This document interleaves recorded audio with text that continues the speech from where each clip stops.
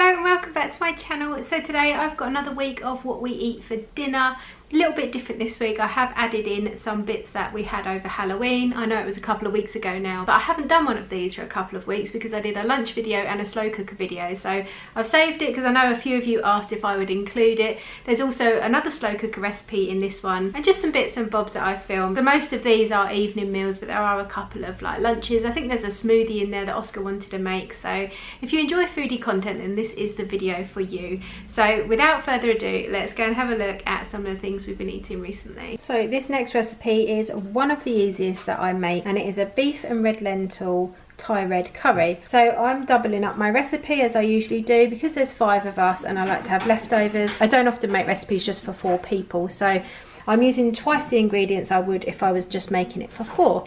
So I've got one jar of Thai red curry paste and I'm going to use the entire jar. This is 200 grams.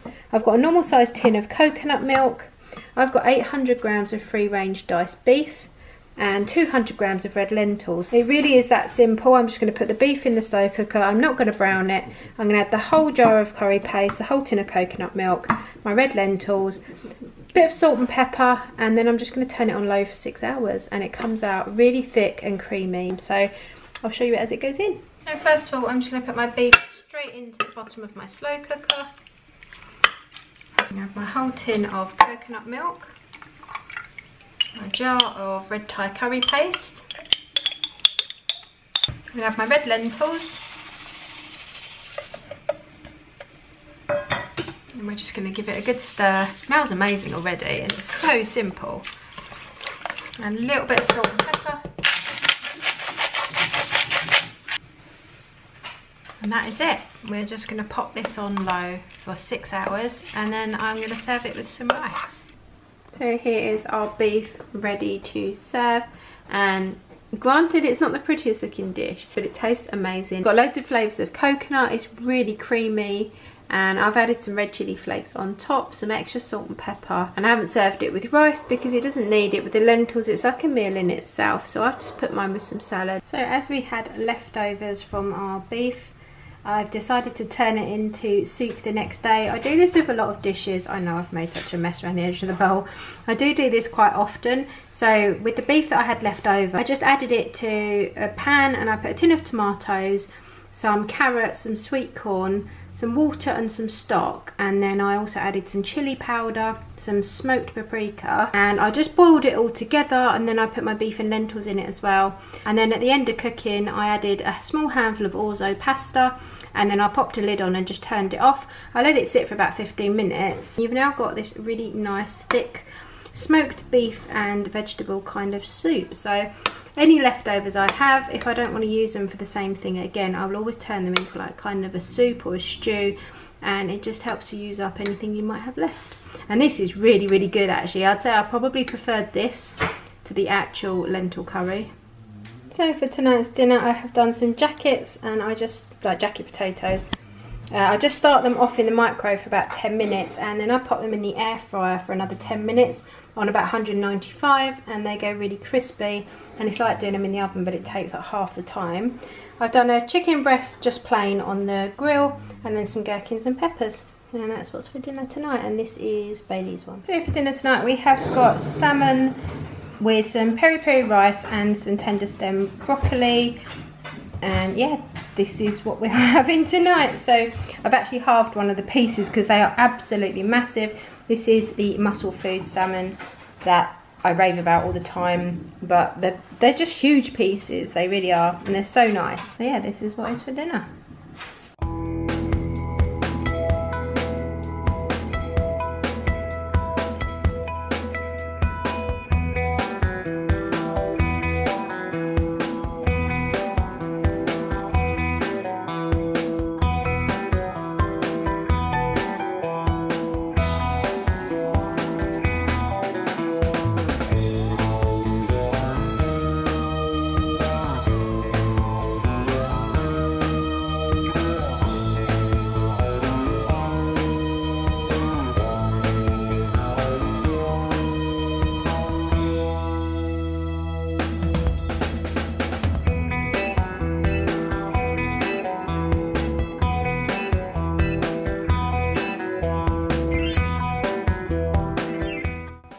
I'd add in our Halloween little feast that we had. We had some family over, including my sister and my mum, and we just all got together and had a really nice evening. So we had some raspberries, some crisps, there were Oreos, Jaffa cakes, pizzas.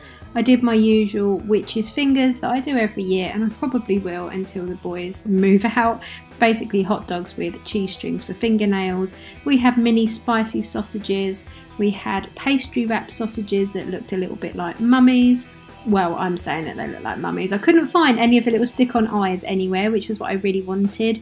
We had lots of cakes and treats. This lasted for days and days afterwards. We were eating leftovers for a really long time. We had lots of cheese and quiche and crackers and biscuits and things like that and it was just a really lovely evening. We played some games, we watched some scary, like kid friendly movies, and it was just really nice to all be together and enjoy ourselves.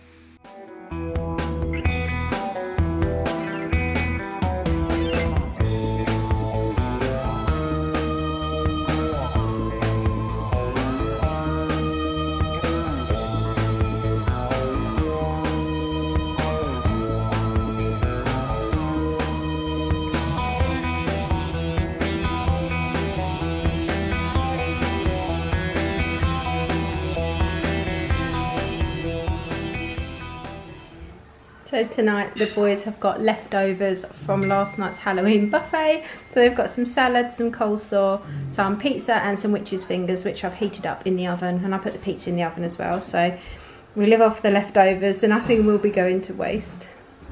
So for dinner tonight we are using up some bits and pieces. We've got some chicken breast that I've done in the air fryer, a little bit of quiche, these like thing sized pieces of quiche and we've also got some salad with a little bit of spicy cheese and that is what it's for dinner tonight. So for tonight's dinner I have made a chili con carne and as usual I've used different beans in it. I've actually used some chickpeas instead of kidney beans.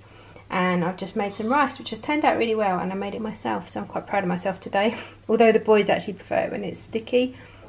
Um, this is just normal long grain rice but I am really rubbish and it's turned out good. So that was a fluke so tonight is chili and rice and then we've got some Greek yogurt on top. So I'm just starting tonight's dinner and I've got some of this reduced cauliflower popcorn in Marks and Spencer's.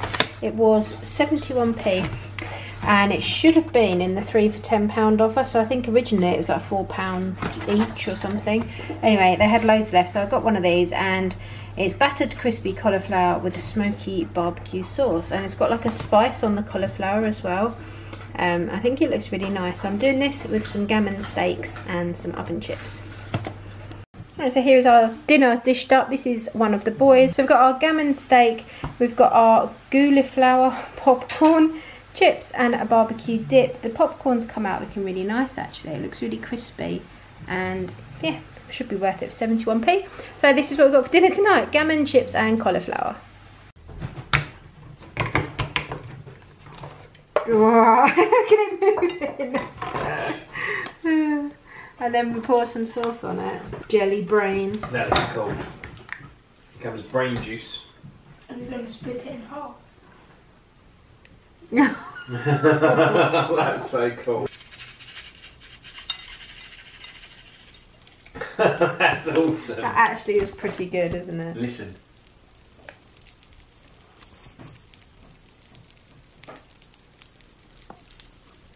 Jelly brain.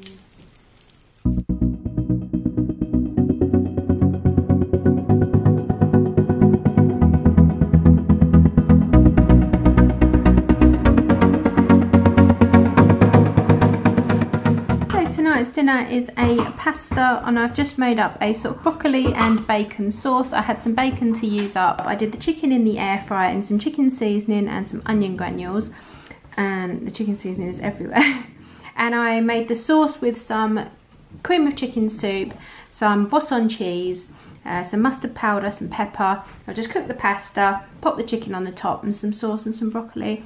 And I'm going to grate a little bit of cheddar on top if everybody wants some. So that's what we've got tonight. So with the leftovers of the chicken and the sauce, I've mixed the chicken in with the sauce and then I've done some jacket potatoes which I started in the microwave, put them in the air fryer and I also did my leeks in the air fryer, so they took about 20 minutes. I just cut them into like thirds, sprayed them with some oil, and yeah we're going to eat that and use up all the leftovers so as is always the case with kids these days oscar has seen something on the internet about making watermelon smoothies and he wanted to try it but it's so good i was really surprised it's literally watermelon chopped ice and a squeeze of lime juice. And you just blitz it all together and it actually tastes really creamy and really thick and those are the only ingredients you need. So i decided to try it for him and he really enjoyed it and it's healthy too.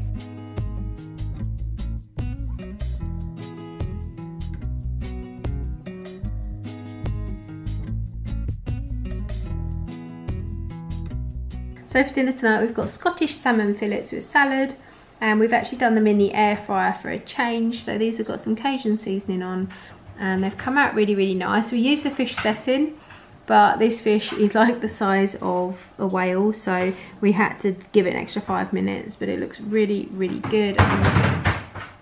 Right over there. Simon's playing a bone.